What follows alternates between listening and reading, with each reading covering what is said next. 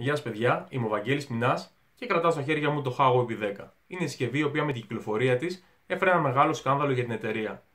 Και αυτό γιατί; Η εταιρεία αποφάσισε να κυκλοφορήσει τη συσκευή με τρεις διαφορετικούς συνδυασμούς εσωτερικής μνήμης, οι οποίοι έχουν μεγάλες διαφορές στις επιδόσεις μεταξύ τους.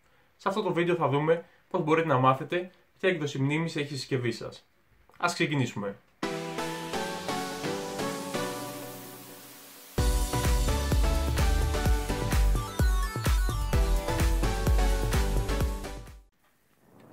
Αυτό που έχουμε να κάνουμε είναι να βρούμε και να εγκαταστήσουμε από το Play Store την εφαρμογή Androbench.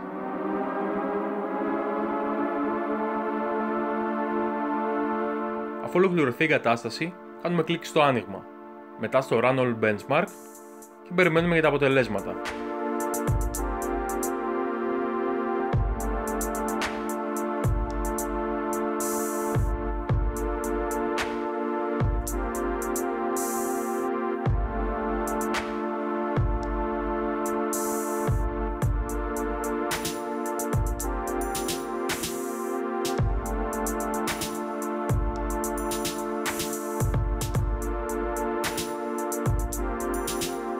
Το αποτέλεσμα που μας ενδιαφέρει είναι το sequential read. Αν λοιπόν το score της συσκευής μας είναι κάτω από 300, σημαίνει ότι η μνήμη της συσκευής μας είναι η MMC 5.1.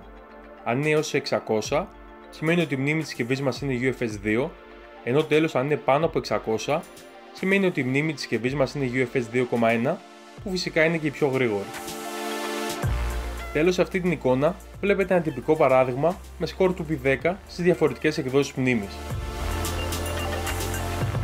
Αυτό λοιπόν ήταν το βίντεο για το πώς να τσεκάρετε ποια έκδοση μνήμης έχει η συσκευή σας. Το δικός σα P10 ποια έκδοση μνήμης έχει και από πού το αγοράσατε, αφήστε μου ένα σχόλιο και φυσικά αν σας άρεσε το βίντεο μου, μην ξεχάσετε να κάνετε like, subscribe και κλικ στο καμπανάκι των ειδοποιήσεων για να μην χάνετε ποτέ τα νέα μου βίντεο.